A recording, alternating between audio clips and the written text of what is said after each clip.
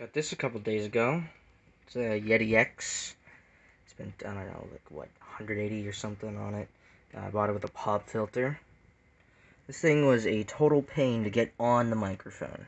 Um, but it, uh, it, uh, it sounds great. Now you probably wonder, why, why am I in MS Paint? Well, that's because, uh, look, I want you to look at the, uh, the date. Um, uh, editing me. Uh, zo zoom in on that. Zoom in on the date.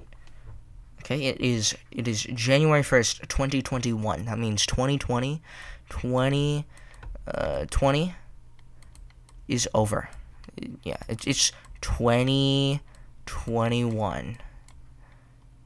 I don't know why I made this. This is probably one of my worst videos. Um, but hey, new microphone.